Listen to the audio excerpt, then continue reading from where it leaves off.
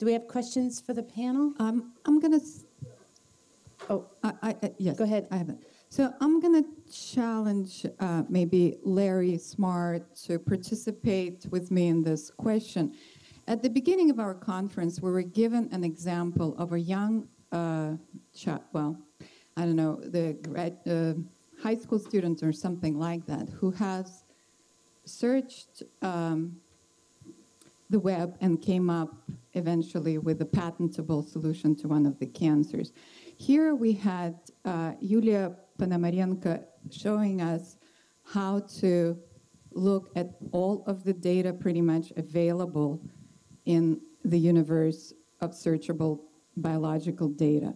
And we have Larry Smarr with all of his resources and having his entire uh, genome sequenced, and uh, I don't know how many years is this project um, on the same campus. Are you able to do what the high schooler did with the resources of this entire university?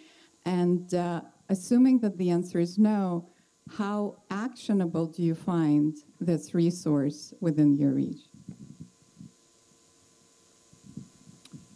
Well, um, I think they're not the same case. Uh, this uh, is going to be very valuable for actually the scientific research on things like microbiome or uh, genomics that are just emerging, uh, in which there are, uh, you know, many, many different distributed researchers that are creating data and going into databases, but there's not sort of system integrators going across the whole thing. So one of the things that, for instance, for me, it's been invaluable is to be able to be in a campus where the university library allows you to get for free access to all these scientific journals, uh, articles. And so I've had, you know, read you know, six or seven hundred of them. I couldn't do that if I wasn't in the campus. So there's a lot of this stuff that you just can't get to the data. Uh, those, barriers are, are very real. Now, what the high school student did, I think, was a very different uh, approach. Um, so I don't, I don't think they're really comparable. Um, but I think it is going to be the, you know, real issue is art is the coupling between translational medical researchers and this avalanche of data. And whether you're actually going to get out of that data some new ideas for therapy or for treatment. So far, I haven't, but um, data itself doesn't translate into new therapy.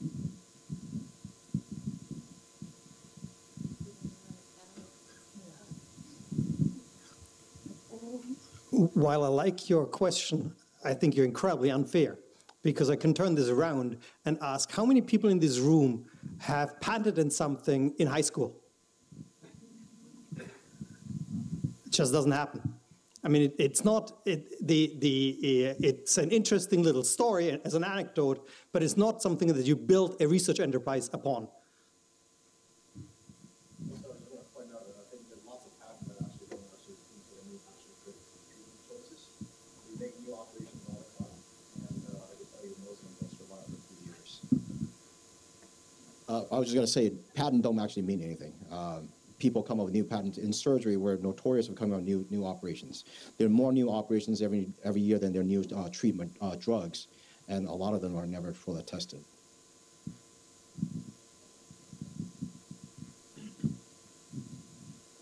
Yeah, I have a question for, for James. That uh, can you share with us how difficult it could be to link with Facebook to collaborate with them and get access to all of the huge data that you can access to? Thank you. So we're in a period right now where I think you have to have privileged access to some of these databases because of the privacy concerns that, that were referred to in the earlier session. Um, but th- there are people at Facebook and at Twitter and at LinkedIn and these other resources that are very conscientiously thinking about the question, how do we get this data in more people's hands? Because the more people who have access to it, the more you're, you're going to get um, new insights about social science and potentially new breakthroughs in terms of being able to change people's behavior for the better. Um, so it's it's a difficult question because You want it to be as open as possible for the benefit of society, but you want it to be as closed as possible for the benefit of the individual.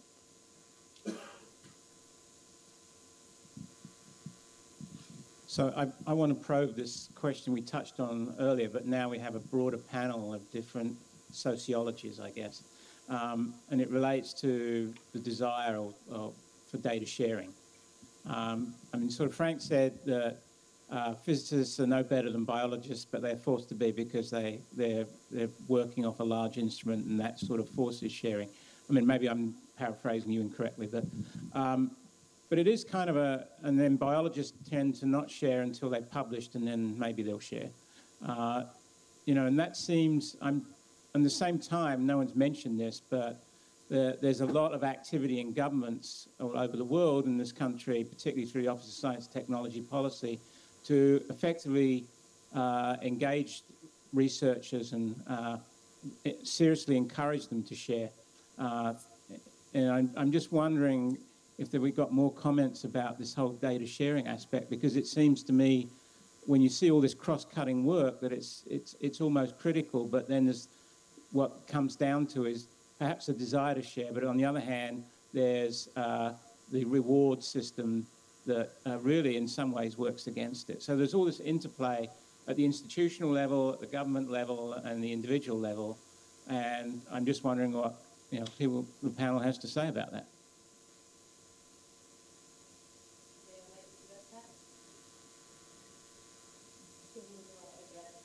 No, I mean, is is is uh, is data? Well, let me make it simpler. Is data sharing different in different domains uh, by desire? I, I know that in the social sciences, the people who manage to pull off big, big data science end up getting amply rewarded. So I'm thinking of Joe Henrich and the project on small scale societies around the world. That's yielded two books and thousands of citations, probably a couple dozen articles. It was big big small scale social science. Um, you've got the, the paper that's just out recently with the psychologists who were replicating the, the, um, experiments that had come under attack as not being replicable. Um, it was led by Brian Nosek. And I'm sure that his leadership of that project is going to help him personally in his career. So I think the more we have um, examples of people who expend their sort of short term capital to organize other scientists, but then get rewarded later on, I think the easier it's going to be to say this is a career path that you could take even if you're relatively junior. I, I would make, in addition to this, I would make a distinction between archival quality, or maybe not, quality is not the right word, but between primary data that has a that uh, is is made of it that uh, is of common use versus private data that is your own competitive advantage.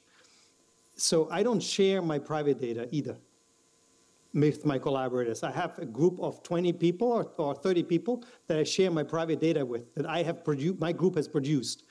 But the data that the experiment produces as a community, we all share. And so there is a starting point that is shared because that's the right thing to do and it makes sense. And then there is a derivative that the individual does in order to create yourself a competitive advantage. And I think that's also fair. And you have to make it possible that both coexist. And I don't know how that translates to other sciences, but it fundamentally, just from human nature and sociology, both must exist in some way. Otherwise, the, whole, the thing doesn't work. The system doesn't work. I don't know whether I'm making sense, but. I think part of the mentality that's out there is that the data is the new oil, and that's going to have to change. um, what we have seen, in there's obviously privacy and security issues with sharing the data and what you share and how you can share. And in smart grids, a lot of that is control, controlling the system on campus. That we have to be careful what we can share. But what we have seen over the past year in our tech talks, for example, as the companies come and present about their data, it's really oftentimes not, in predictive analytics world, it's not oftentimes so much the data, it's the, the novel features they create out of that data that come from their domain experience and expertise, which is they won't share. Um, so as, as, as Frank has pointed out, there is data and then there is data. Tell about biology, which you feel also know well. So, in uh, working with many experiment, experimental labs and uh, working with a lot of data myself, I can say people are not not willing to share data. They just don't know how and where. There is no infrastructure. For example, you know, PDB is beautiful case you require people to up, submit the structure, obtain PDB ID, and only after that they can publish. So we are trying to do the same with the immunoepitope database, which I'm working on. And it still didn't happen, actually. The database existing through since 2004, and now we have nine years passed. And NIH still can't enforce that. So people submit data to our database, obtain ID, and then publish. So, and uh, like, for example, then a GEO um, archive uh, database for gene expression data was developed. And uh, people started submitting data there. And initially it was only raw data, and then they allowed processed data, and people do all that. Another issue that they don't do very well job is providing metadata. Actually, and uh, for example, people are willing to submit supplements to the publications, but not every journal uh, actually allows to do that. So I think the major issue is infrastructure. So we need to develop infrastructure in different domains of science for people to share data. And they, the same like Facebook, if it would not exist, no one would share data. There are infrastructures in place, but they're incredibly difficult to deal with when it comes to human subjects. So dbGaP is NIH's mechanism for sharing data, and I think it's like a 20 or 25 page application to get access to this data. It's insane. If, if my collaborator hadn't filled out that form and I could just sort of copy that form and to do the submission, I wouldn't be working with that data because it just wouldn't have been worth it to me. I would have gone somewhere else. So it's not just it's not just creating new infrastructure, it's getting the infrastructure we have in place to work better and be lighter touch. Yeah, a question on just yeah voting on Facebook. Just uh, in yeah one of the experiments you just yeah specified just yeah three different yeah categories of close friends and then friends and then close friends of friends, and then uh, the goal was just the um, how they are predictive of our for example behavior. And I just yeah, noticed that yeah, at some point, um, just yeah, the close friends of friends just exceeded just yeah the friends, the predictivity of the friends. So any comment on that? Because intuitively, I just expect that friends are more influent on me, for example, than close friends of friends.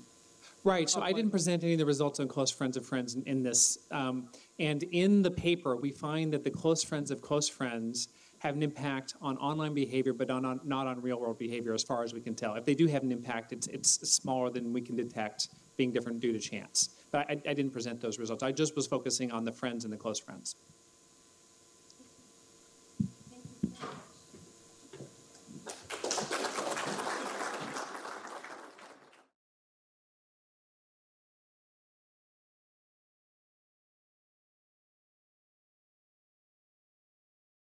We were given an example of a young uh, child, well, I don't know, the uh, high school student or something like that, who has searched um, the web and came up eventually with a patentable solution to one of the cancers. Here we had uh, Yulia Ponomarenko showing us how to look at all of the data pretty much available in the universe of searchable biological data. And we have Larry Smarr with all of his resources and having his entire uh, genome sequenced, and uh, I don't know how many years is this project. um, I think they're not the same case. Uh, this uh, is going to be very valuable for actually the scientific research on things like microbiome or uh, genomics that are just emerging, uh, in which the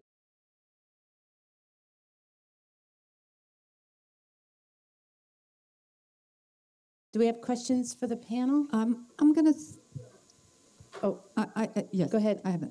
So I'm going to challenge uh, maybe Larry Smarr to participate with me in this question. At the beginning of our conference um, on the same campus, are you able to do what the high schooler did with the resources of this entire university? And uh, assuming that the answer is no, how actionable do you find this resource within your reach? Well,